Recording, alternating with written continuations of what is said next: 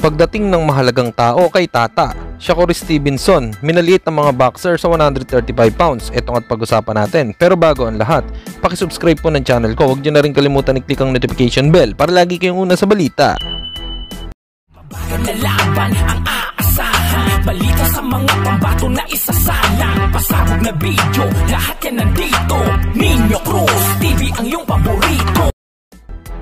Pag-usapan nga po natin mga kaboxing, Shakur Stevenson masyadong pasikat daw di umano ang lightweight division. Sinabihan niyang overrated ang mga boksingero sa 135 pounds. Hindi pa nga ito napapalaban sa 135. Hindi daw niya nakikita na may dapat katakutan katulad ni Ryan Garcia, Jerbon Tatank Davis, Lomanchenko at si Devin Haney.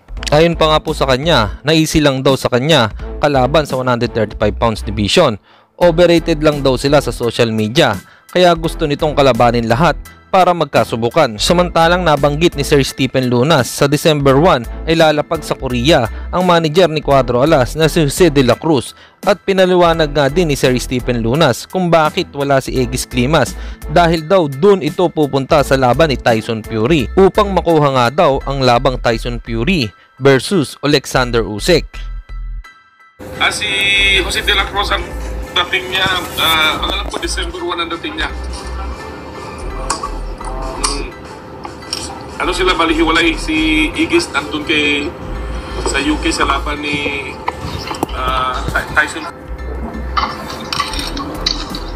Gusto kasi nilang kunin yung laban na Fury, Fury at saka si Usyk.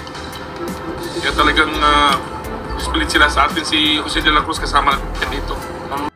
At syempre, shoutout nga pong muli sa mga boxing fans dyan. Maraming pong salamat sa pagsuporta. Dito na lang ang aking boxing news report. Babu!